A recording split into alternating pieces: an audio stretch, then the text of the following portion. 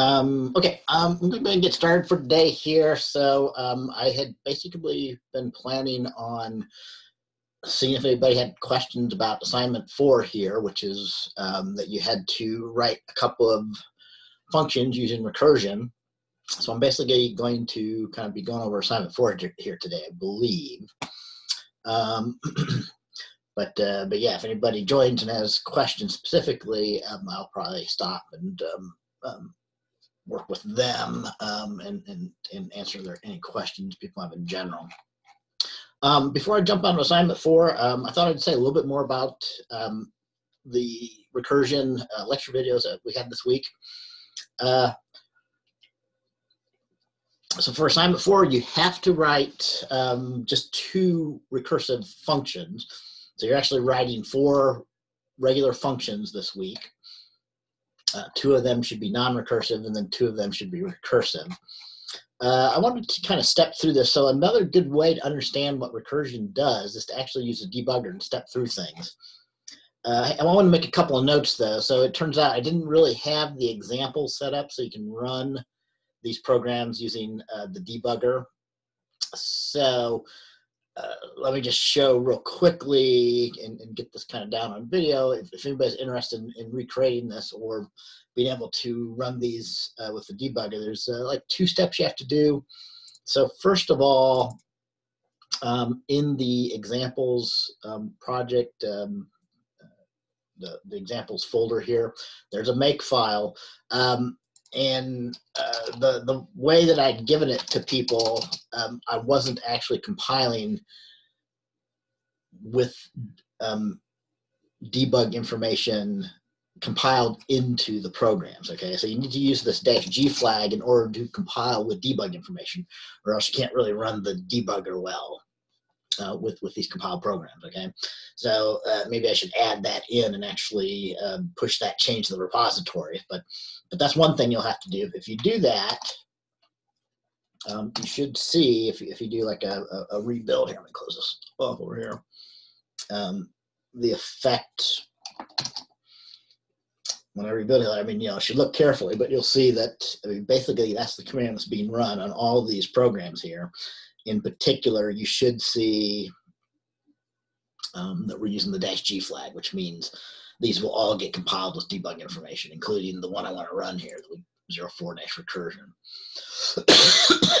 but the other thing is that the default uh, debug task um,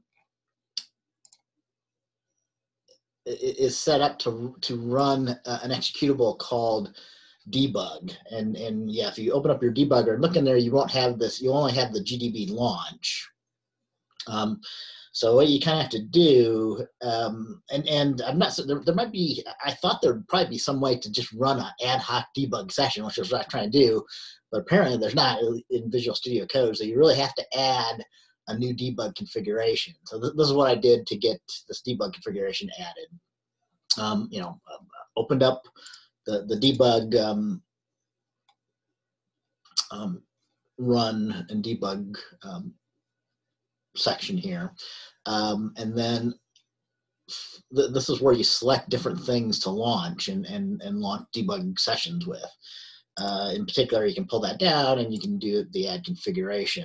When you do that, it adds like a new configuration. Uh, just added a um, third one for me here. Oh no, it didn't. So uh, it should add a whole new block for you though, I believe. Let me try that again. I, thought it would. Um, oh, I, I'll show. Um, so let me just show this from the beginning, okay? So um, you won't quite see this because I already have the configuration. So let me remove that to see if I can recreate the thing. So uh, and let me save this configuration and then let's try that again okay?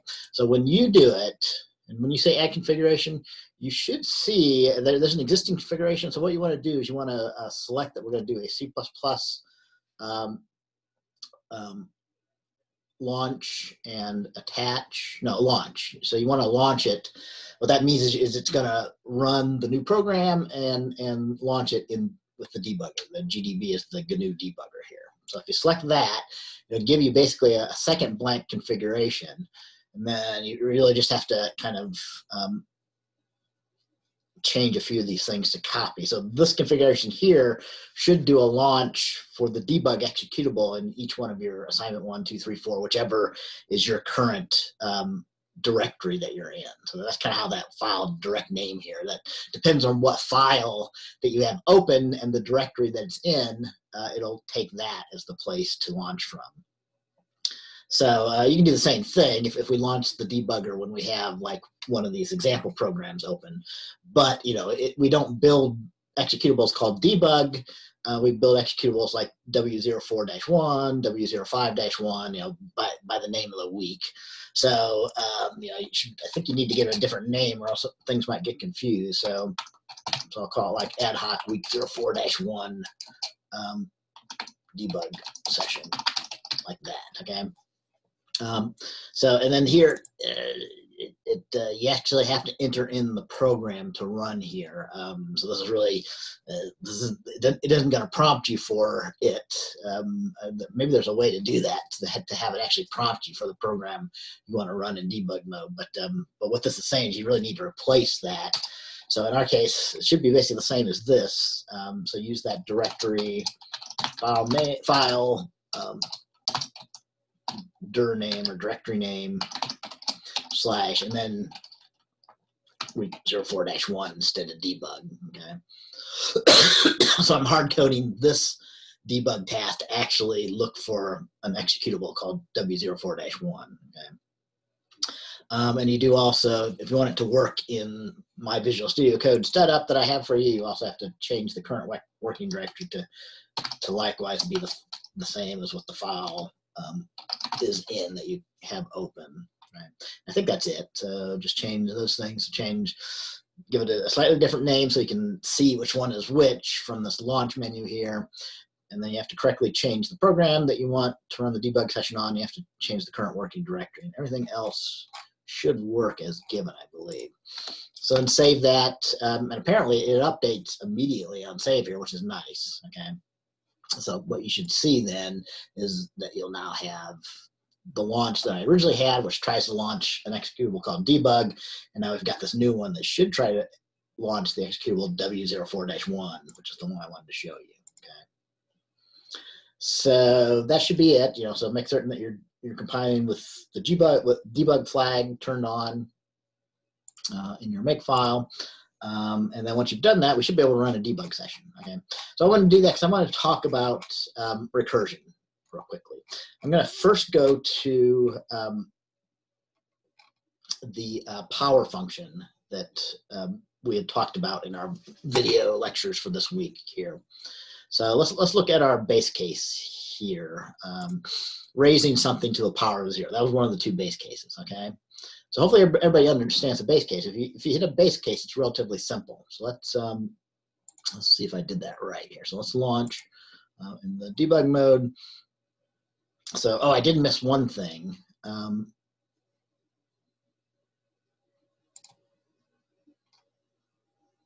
right now, um,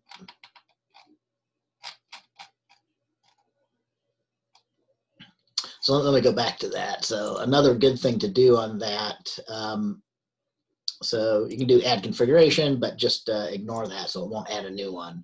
Uh, but another good thing to do is um, to, to turn on the stop and entry so it'll always um, be as if there's a breakpoint on the very first line of code in your um, program when you try and debug it. So let me turn that on as well here. So I'm going to make certain this rebuilds. I'm gonna make a small change, save that, Control Shift B to build, make certain it rebuilds, and let's try launching that one more time. So launch.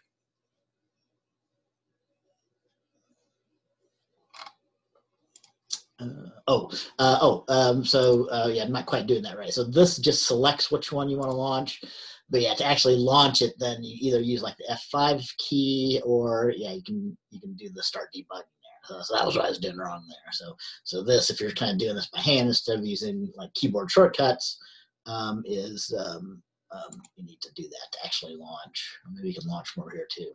So that should launch our debug session. So now we're actually running our debug section. So we've got our local variables here, watch points, and our call stack, um, and our output on our terminal here. Right, and since I set that flag, it actually stopped as if there's a breakpoint at the first, very first line of code. Okay, so I've got I've got a breakpoint here. So let's continue. So it goes down here, so we can step in to that function and, and and watch it for our base case here. The base case when we try to raise to a power of zero. Right. So if you hit continue, it'll just keep running until it hits another breakpoint, which should be here. Um, and then let's step in. So notice that um, x is 5 and y is 0. Right? Um, so you need to do this the correct one. We want to step into this function to see what happens. When you first step in here, until you do one step, you can't actually see your variables. So um, so let's uh, let's just do step over from now on. Now, at this point, you can correctly see that our x and y parameters are 5 and 0. Right? And notice, uh, I want to point your attention to the call stack here. So I'm to, excuse me, I'm to come back to that. But in this case, since we're going to hit uh, one of our base cases, um, I mean, it's relatively simple. So since y is 0, you know, this, this is going to be true. When we test y is zero, it's just going to immediately return one because anything raised to the power zero should have a result of one, right? So if we step, we'll see that it jumps right to that return right away. Um, and um, we step again, it actually is returning. So it went to the end of the power function. One more should give me back to main. So now we popped out of the power function and we're at this point afterwards. And, and then we should see that the result is one We raised it to zero. Okay. Um,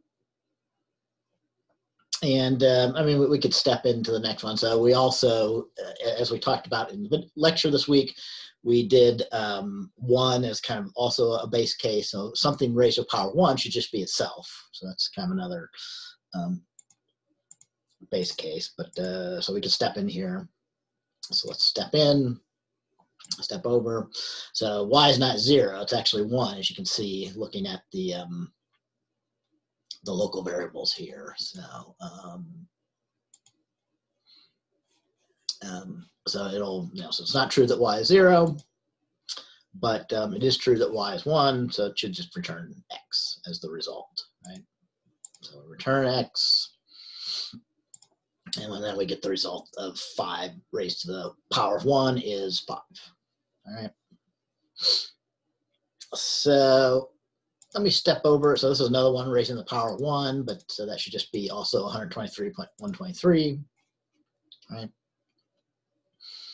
Uh, here's 5 squared. I'm going to skip over that. Let's go down to the one where we do something to the 10th power, because there's one thing that I, I wanted to talk about, make sure everybody understands here.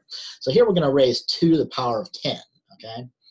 So, so uh, because I wanted to show more about how uh, recursion works using what's called the function stack. So over here, I pointed out once or twice, you know, this is what's called the call stack, um, also known as the function call stack, right? So the way that recursion works is by relying on this implicit function call stack that's, that's managed by the operating system when it's running programs that you ask it to run for you, okay? So let's step over and then let's step into that, all right? So again, we, we, we've stepped in, we're actually in the power function at the start here. At this point, um, uh, this is also known as a stack frame. Um, at this point in our call to the, the function, um, x is 2, that's, that's what we're trying to, the, the base that we're trying to raise to, and then y is 10, okay? So that doesn't hit either of our base cases, that's gonna hit this uh, general case, right? Because y is greater than 1. It's, it's 10 right now. So it's going to call power again. So um, we could step into that, right? Um, so if I step into there, so notice, um, oh, um, messed that up. I, I, I stepped over again. So let me, let me go ahead and continue and restart that. Sorry about that. So I'll have to, have to uh, restart. Let's set my breakpoint so I can go right to calling 10 to the power of 2 here, like that. Um, and let's start our debug session again. So we're at the start of the main function. If we continue on from here, we're about ready to call power to raise 2 to the power of 10. So let's step uh, uh, into that. So now we're kind of back to where I was almost. Um, so we're in our first call to power, 2 where y is 10. So, so I don't mess that up again. I'm going to put another breakpoint here so we always stop in power. So if I want to, I could continue on or I could step in. If I continue on, I mean, either, either way, it's going to be calling power here. So let's let's go ahead and step in. Okay. So at this point, it's going to call power, but subtract one from y, right? So, so what I meant to do last time was we step in, we're back into power here. Okay. So again, notice the call stack. And, and you can actually click through these to get to the different parts of your call stack. So this was our first call to the function call stack when y was 10. We're now uh, to the second call to the power function on, on our function call stack, but y is 9, okay? Um, and, you know, so this is a stack, and we're going to be, one of the purposes of this class on data structures is talk about stacks. So, uh, but, but this is a very good kind of general concept to understand. So all function calls and procedure calls are handled in an operating system by implementing them using a function call stack like this, okay? So what's really happening when you declare parameters like x and y or local variables um, in a function like x and y is, um, is that um, it actually places, it actually allocates memory on the function call stack for those local variables or parameters, all right? So, um, and, and every time it it calls a new function, it pushes what's known as a stack frame um, onto your function call stack. Okay, so um, I have a little thing, to, a little experiment to try here. Um, let me draw that out. I'm going to be using my uh, web camera as a document camera here, so I just got it pointed down on my desk. Um, in fact, let's stop sharing. Um, so I think that uh, I'm gonna have to check out the effect of this. I'm not certain if this is gonna work very well or not, but um, I think that um, um, by stopping sharing, um, this should show up as kind of full screen on the video I record for YouTube for our help sessions here. So, so right now, I mean, you can think of the function call stack as just um, an area in memory, right? And um, I'm going to probably draw it in the opposite order of, of what you normally do. So so let's so your function call stack might be somewhere in memory. I just give it an arbitrary address like 5,000. Okay, and when you first start your main function, um, the it, it, it pushes on um, a call stack for main, and all your local variables on your main function will be in there. I won't draw those out. But when main called power for the first time, it pushes on another so I'm, I'm pushing kind of down on the stack here. So stacks are like a stack of plates. So it pushes on a call to power. And what, what happens then is, is you get allocated, in this case, power has two parameters, um, X and Y. And, and the first time we called it, we were trying to raise two to the power of 10. So X would have a value of 10.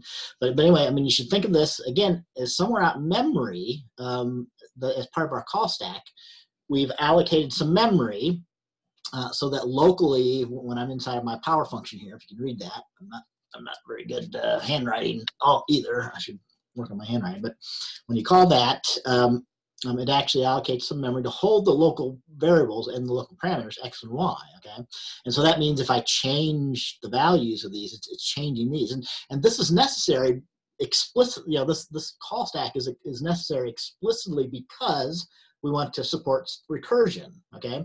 So since this is a recursive function, I can't just have one global location allocated for y because when I call power um, the second time, a new stack frame is going to be added, but it has its own memory allocated for x and y from my stack. In this case, x is always 2, but y came down to 9 because we're raising um, because we're trying to calculate 2 to the raised to the power of 9 to return that and then multiply it by 2 one more time to get our final result. That's how this recursive um, version of power works, right? And I should have mentioned this is a, a tail recursive function, um, so so it's, it's, relatively easy to visualize, all right? Um, so and you know since since y is 9 we're still not to the base case of 0 or 1 so you know it, it's gonna again come down there and call power recursively which will put another um, frame on the call stack.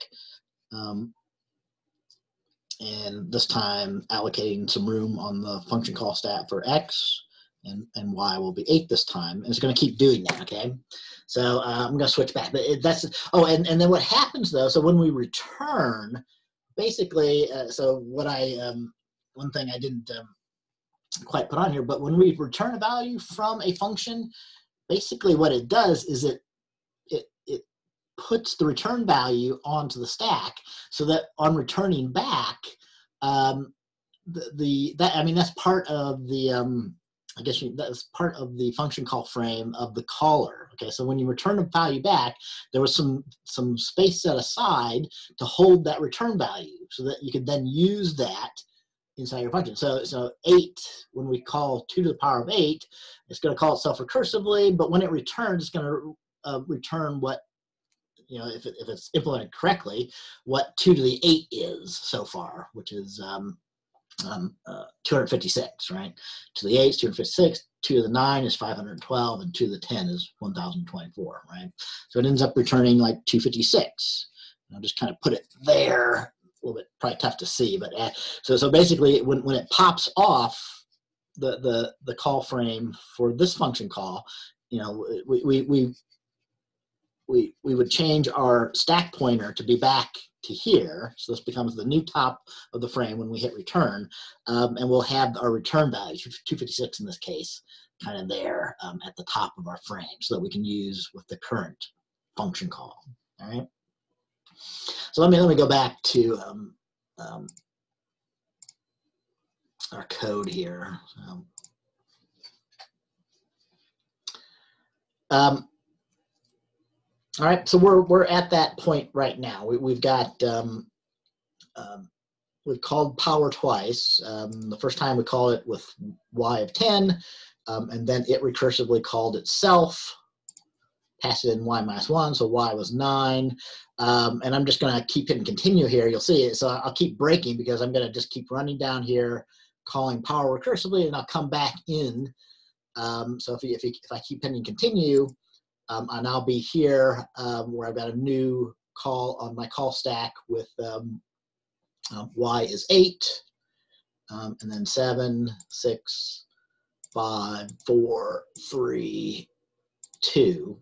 So at this point, you know, I'm, I'm like what, 10 calls deep or nine calls deep onto my stack. So the, again, these represent pushing um, uh, frames, call frames onto my function call stack here. So, and in my current frame, I'm trying to solve the, the problem of 2 raised to the power of 2. Um, you know, we still haven't hit the base case yet. So this is going to call one more time. It's going to call it recursively and subtract 1 from y. So, so, um, so if we continue on, uh, we're at our final call, but now this is how recursion ends then. So now we're finally going to hit our base case because y was, uh, was 1 so we're just going to return 2 as the result. This will cause um, this frame to be popped off of the stack, and it's going to return 2 as the result. So there'll be a value of 2 at the top of my function call stack, which can be used. And so now if I um, step through this, we'll be returning, and it's going to be a little bit hard to see because I've got so many function calls on my stack frame that they've gone off the in here. But now we've got, you know, this was 10, 9, 8, 7, 6, 5, 4, 3, 2, 1. So as soon as I return um, from here, if we continue stepping on, um, now we've actually returned back. So now we're at, uh, we're now at, at, our call frame where y was 2. So 10, 9, 8, 7, 6, 5, 4, 3, 2 for y.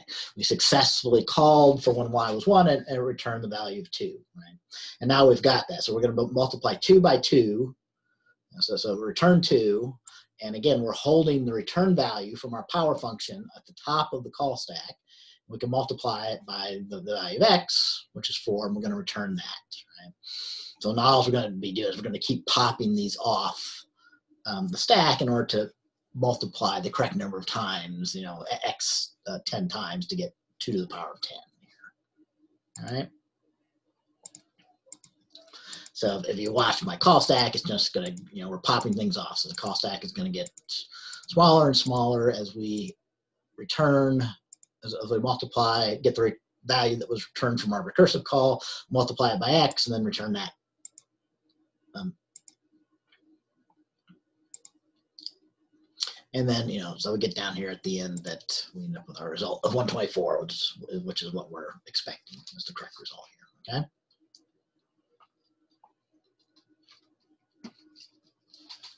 Um,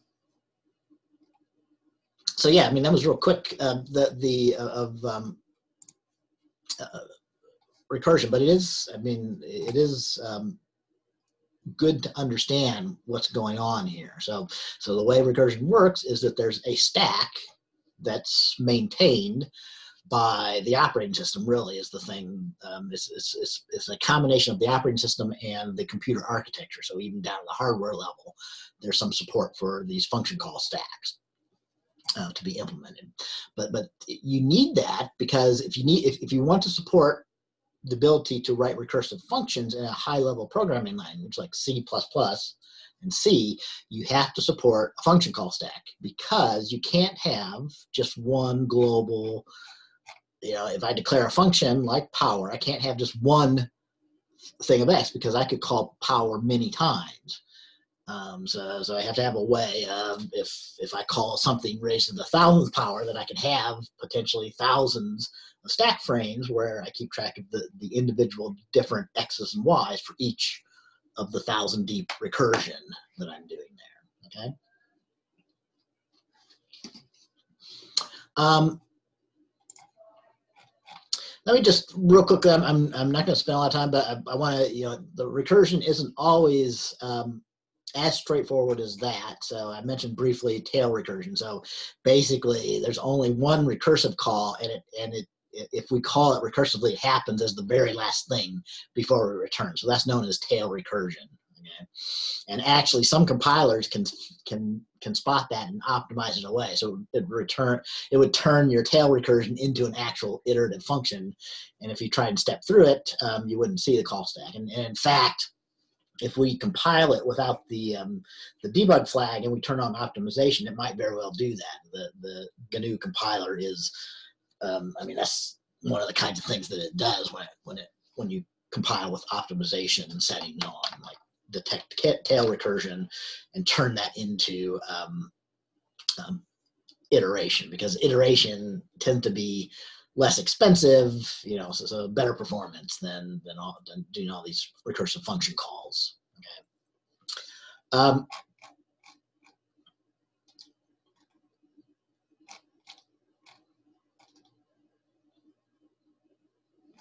so let's just look at um, there was one other example of recursion here to find the maximum. Um, I put this in here because actually next week you're going to um, be writing functions, not, so not this assignment, but assignment five, that are similar to the um, largest recursive that we do here. So here, the basic idea is um, we pass an array. I'm only going to show one example here. So we've got an array of five values. Um, if we look at the values here, three, eight, two, nine, seven, and, and, and the function, you know, we just want to find the largest. So if, um, and, and the way this function is written though, both iterative and, and recursive versions, you can just ask for the largest in a sub portion of the array. So when you give B, B, and E, you're supposed to be passing the begin and end index of the of the locations in the array that you want to search for the largest and find the largest of, right? So, so I only look at, at this case here. So when you say begin is zero and end is four, that means I want to find the largest value from index zero to four inclusive, and that's all the value. Because since there's five values, the valid indexes are zero, one, two, three, and four. You know, so n minus one. So if I say search from zero to four, um, I, I, do want nine to be the result. That's the largest one in here. Right. Um, so I'll set a breakpoint there and, and, step into here. So, um, so largest recursive um, uses a divide and conquer approach instead of tail recursion. So if we launch our debugger again, and we continue from the top, so we hit here and we step into here. We'll step into here. So we're calling, we do, let me do one more step so we can see. So we're calling with begin of zero and end of four. And, and you know, again, look at our call stack here. So we've called largest recursive once, right? I'm gonna set a breakpoint here so I can use that continue trick to, um, when we're about to call it to, to see our function call stack, okay? So in this case, um, when begin is in, that's a base case, and we just return. So like if you say find the, the largest from zero to zero, there's only one value in the array that begins and ends at zero, and that's the value at index zero. So you just return that, that's the largest. So that, that ends up being your base case. But here begin is not equal to end, so we're going to call it um, like this, but notice we call it twice, okay? Uh, and if I was to hit continue here, it would it would break um, probably for the first call here. So, so we, we calculate mid. Mid was two. So we're, we're going to try to find the largest from zero to two. So um, uh, I probably can't see the values in here, unfortunately. So one trick on this, um, you could use the debugger to, to actually print out memory, um, but um, um, uh, but we can again step through. So I could go back to, to my call stack, so I should be able to see it easily here. So again, my values uh, these are the values in the list that we passed in to the largest recursive. So since the midpoint was from zero to two, we're calling one version of largest recursive just on the subportion of the list from zero to two, and the largest in that should be eight. And then we're calling another one from three to four um, because um, you know, we, we call it from begin to mid, so that'd be from zero to two, and we call it from mid plus one to end, so that'd be you know, two plus one, so that'd be from three to four here, okay? So um, if I can kind of stop my, kind of draw this out here. So basically what happens is you end up with a tree. So, so um, I, won't, I won't draw this as a function call stack. So the first time that you call largest recursive, I'll just call this largest. We have, um, we mostly just need to keep track of begin and end. So initially begin that I'll call B um, is equal to zero and N is equal to four. Okay, so that, that was how we started off here oh, you, can't see. Um, that, that, that, was how we initially started off. And then on our first call we, we find a midpoint um, so also mid would, would be on here as well. So the midpoint was calculated to be, two. So so again both global or sorry, both parameters and local variables get pushed on to the function call stack. Because again if, if i call if i'm calling this largest um, recursive um, recursively I, I would need separate locations in memory allocated to hold the begin and the end and the um, uh, the midpoint that we just calculated and so on. Okay. So so anyway, when we call it recursively, we we call it once with um, a begin of zero and then end of the midpoint. So from zero to two and this is going to return a result. Um, but uh, actually, it won't return a result immediately because, again, the base case is only when begin and end um, are equal. So this is going to, again, calculate the midpoint to be, I should have left room for midpoint. So the midpoint will be 0 plus 2 divided by 2. So it'll be uh, 1, right? So this will, this will call um, recursively um, from begin equals 0 to the midpoint. So end equals 1 Right? And even here, we're not done because um, this will finally, though, hit. So, so again, we, if we do 0 plus 1 divided by 2, we end up with a half, and that, that's going to get rounded by integer division down to 0. So we'll end up with a midpoint of 0. Okay, so we'll end up calling, run off the end here, so but we'll end up calling begin of 0 and end of 0, and that's going to be our base case. So that returns, I'm, I'm looking at my array here on my own uh, code here. So that returns the value index zero, which is a three. So this is gonna return a three up here, if you can see that. Uh, and then though, after it's returned, it's gonna call it again with the, the begin to be at, at uh, the mid plus one. So it's gonna set begin to be one and then in to be one, right? And the value at index uh, one is an eight. So it'll return eight. It's the largest, or is the value at index 1, 1, okay? And then if you go back and look at the, the code, um, so it basically just takes the max of those two values and returns that as the result, okay? So, um, and, and um, I'll come back to the string here, but, but we're using the max function. So since we return three and eight, um, the max of those two is eight. So, so this will finally return a result of eight up here. Then, then we're back to, to here though. Um, so I hadn't finished off kind of uh, doing this tree. So now at this point, we, we called it for begin to the midpoint and we found that, you know, basically this is saying that the, the largest value from index 0 to 1 is an 8. So I need to find now what the largest value is from index 1 to 2. Okay, so this is going to call again um, with a begin of the midpoint 1 and an end of 2. Um, and that's still not the base case, so we will first call this for begin equals 1 and end equals 1. Notice that um, um,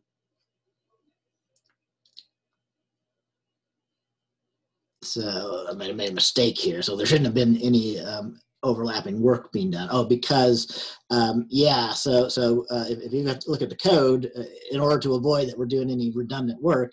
Um, so when I did this here, it actually splits this from zero to two to, to search from zero to one. But then this is just going to search from two to two. So actually, uh, it didn't do that. So um, so yeah, the that ends up hitting our base case. Um, so here we just are finding out, looking up the value at index two, um, which is a two, and that will get returned. And then, you know, uh, finally back um, onto this call of the stack, um, it'll do the max between those things, two things are returned. And so again, you know, you know, make certain you understand what is being calculated here. So what's what's being said here is that um, so begin was zero and end was two, and it, we found out that the largest value uh, in that range from zero to index zero to index two was an eight. Right? So that's going to get returned eight there. Okay. Um, and then I'll just complete this off. So um, this will go to, so since it searched from zero to two first, this will search from begin equals three to end equals four. That's not a base case, so it'll first search from begin equals three to end equals three, um, which um, returns um, uh, the value at index three, which is a nine, and then it will call it for begin equals four to end equals four, which returns the value at index nine, which is a seven. Takes the max of those, which is nine, and return that. And then finally, for our original call, uh, you know, so we, we found that the, the max was eight in, in the array from zero to two, and the max was nine from three to four. So we, we return a final result of nine after doing all that. All right. So yeah, I'm going to be interested to see how readable that is when on the recorded video here. But so that's an example. And, and recursion could get even more complex because you know you don't have to split it into two parts. You could split it into split the work into three parts or or arbitrary mini parts, right? So um, right. But notice if I was to look at the function call stack, the, the, the frames on the stack would have um, um, reflected the order that I visited these. So you would have ended up with this on the stack, then then having these two on the, the function call stack, these three, and then these four. Then that would return going back to three on the function call stack, and we call that. Go back to four on the function call stack. That would return. So we're to three. That would return to two. And this would push another one on the stack to calculate that, and so on. Right.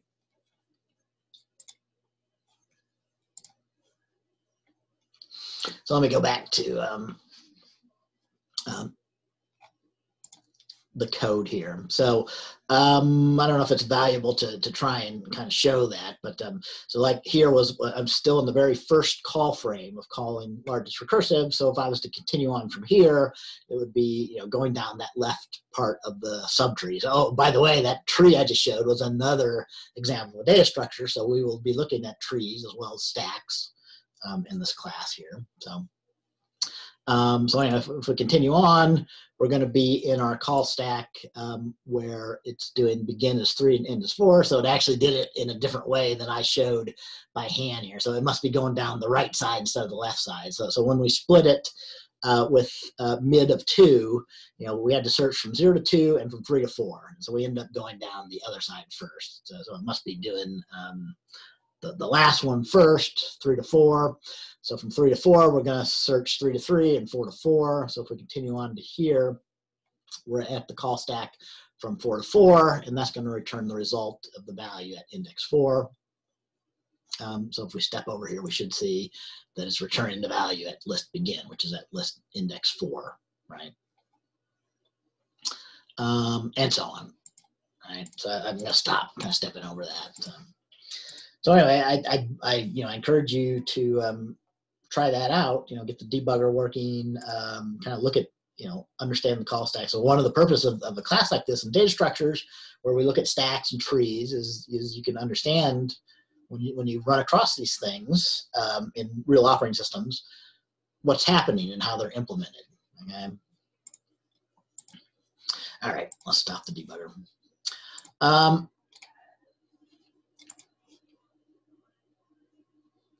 Okay, so then I was kind of expecting maybe some questions about the assignment here, but um, let me just uh, spend maybe five min minutes on it. Um,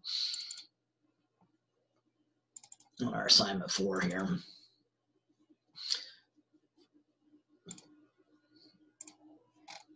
So um, basically you have to implement four functions um, the four functions being factorial iterative, factorial recursive, count combinations directly and count combinations recursive, all right? So kind of like I said before, um, I, I, suspect that there's not as much work on this one as there was in the last assignment or two, so maybe a little bit less. Um, um, now these need to be regular C++ functions, okay? So don't, you shouldn't be creating a class or anything. Um, and if you're doing that, you would have to actually change the tests as I gave them to you, right? So, so you should never change the tests in the unit test file. You just need to uncomment them. But but the tests, if I can, if I open those up um, for assignment four here.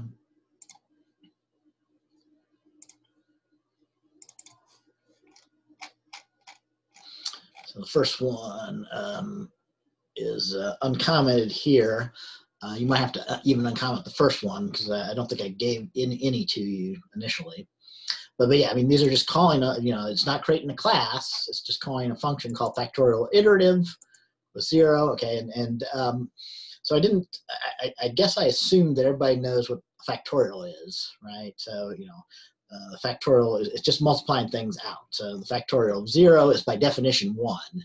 So, and, and this should be a base case. Um, so you might have one or two possible base cases, um, but you know, factorial zero should be one, factorial one should be one, and then anything bigger than that is just the result of doing uh, a multiplication. So 10 factorial, which is often written, um, you know, as, as I said in the, um, oops, in the, um,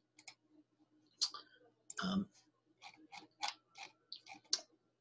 we make use of that notation um, in the assignment description. So you use the exclamation mark to indicate that we want to do a factorial.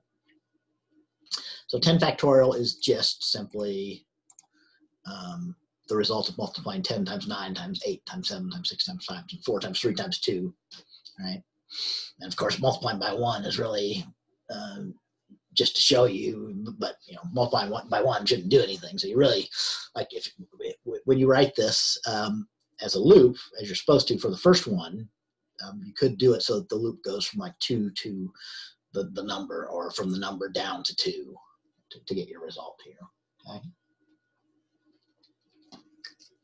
Oh, but um, yeah. So, but make certain, so it's incorrect if you use recursion for the iterative version. So you need to use iteration. You need to use a loop for factorial iterative. Um, but and it's really though incorrect to use iteration for the recursive version. Okay, so um, the I mean the whole purpose of this assignment is to practice um, writing recursive functions, right? So, you know, you'll get a zero for um, rec the recursive versions of these functions if you don't use recursion, right? Even, even if they're working. So if you're doing something that's actually iteration, like a loop or something, um, then you're not doing the assignment um, correct, not completing the, the specification for this function here. All right, and, and yeah, I haven't had any questions, so I hope it's this is um, clear um, from the description here of what um, the, the um, uh, calculating the number of combinations of n choose i things is. This, this is a, a, common useful thing. It's very useful in probability. So if you ever take uh, um, yeah, if you ever take a, a, class in basic probability, you'll um, very quickly come to ways to calculate com combinations and permutation permu permutations of things. Um, but this is just the number, right? So if I have four items, A, B, C, D, uh, if I want to know the number of combinations of four, choose two. I can either have A with B, A with C, or A with D, um, B with C, and or B with D, or C with D. And notice that um, um, order doesn't matter here. So uh, C with D, D, D with C, where, where you switch those, is not considered a different combination as from from C with D. Okay, so that's the same combination no matter what the order. So anyway, counting combinations is without regard to orders, just um, uh, which two items from the set of four get picked, no matter what order they get picked out of that set there. Okay, so I mean, you know, as I just did that, you can see that the answer is six, right? Um, so there's a way to count the number of combinations directly of, of you know, so, so in this case, we're four items, choose two so that's what the in and the I are here, right? And these become parameters into the function um, that you're writing here. So, so you know, this is the notation for counting combinations, but when you write your function for like count combinations directly here, I'll comment this here so we can see it better. Um, so you know we, we choose it we, we pass in the the two parameters but and so you should choose you should um,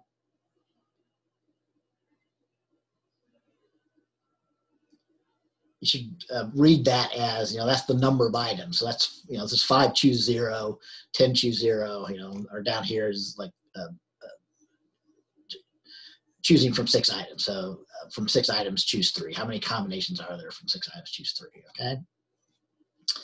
Um, so, keep doing that. So so again, for the first version of this, to, to, to, to, count combinations directly, you, you don't need any recursion. You just, well, you just need to reuse your factorial function. And you can use you can reuse either one. You can use the recursive one or the iterative one, whichever one you like here in this function. Um, but but all you have to do, you know, so if I have n choose i, I just have to calculate n factorial by calling for example, factorial iterative on n, and I have to call factorial, you have to call your factorial function three times on, on n, on i, and then on n minus i, right? Um, then once you have those three values, you should be able to, to multiply those two um, and, and, and divide that by the result of the n factorial. And that, that should be the, the total number of combinations like here. Notice that, uh, that three choose three or four choose four um, is kind of a base case because if I have four items, there's only one way to choose all four items from a set of four. So that should be kind of obvious of what four choose four is, okay? Um, and it's kind of by definition that if you choose zero items from a set of four, it's considered also, there's only one way to choose no items from any set, no matter how big the set is, right? So there's just one way to choose nothing. You choose nothing. So um, I, I believe I described that here, yeah. So some number choose zero, some number choose in um, is one. And those represent your base cases. So when you do this recursively, you need to use this definition for the recursive definition, right? So, so um, these are your base cases. If, if you ever are given um, choose zero, or you're given a set of items of in, and you want to choose um, all in items, um, um, you should check for both of those as separate base cases, and, and you just return one in that result. If not, uh, you want to you're going to split it up into two function calls, recursive function calls. So you want to call uh, your, your recursive function um, count combinations recursively uh, with n minus 1, i minus 1, and then call it a second time for n minus 1 and i, and then the sum the result of those two um, is the answer for n choose i. All right.